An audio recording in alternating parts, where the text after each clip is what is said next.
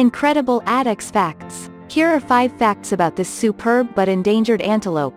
Unlike other antelopes, the addax has squarish teeth like a cow.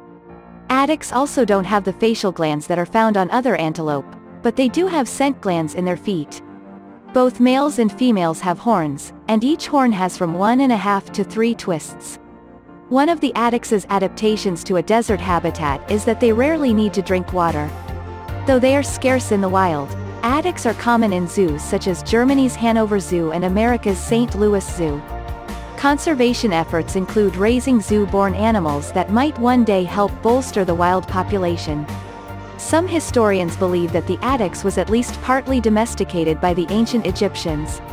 Scientific name The white antelope's scientific name is Addax nasomaculatus.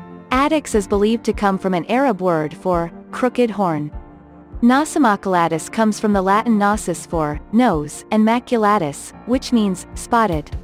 So the name Addax nasomaculatus probably translates as animal with crooked horns and spotted nose. There are only one species of addax.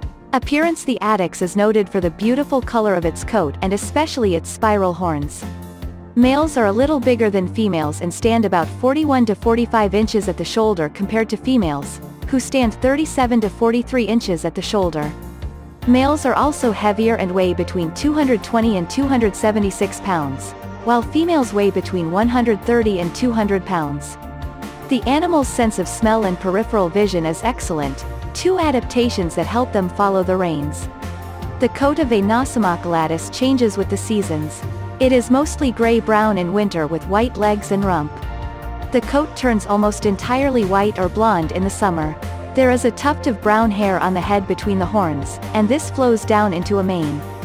There are patches on the nose that make an X shape on the face. The animal also has a beard, notably red nostrils, and a short tail that ends in a black tassel.